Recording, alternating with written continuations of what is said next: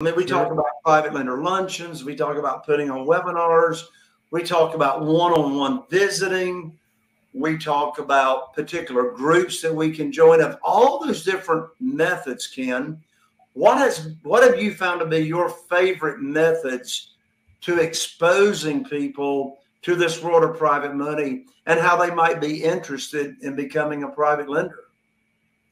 Well, I would have to say, you know, when it comes down to it, it's one on one because it, it is very important to have one-on-one relationships with people. This this is about relationships. Now, although we do have a business model where you can invest safely and securely, you have uh, secured investments secured by real estate. Uh, it still comes down to your relationship between you and the private lender.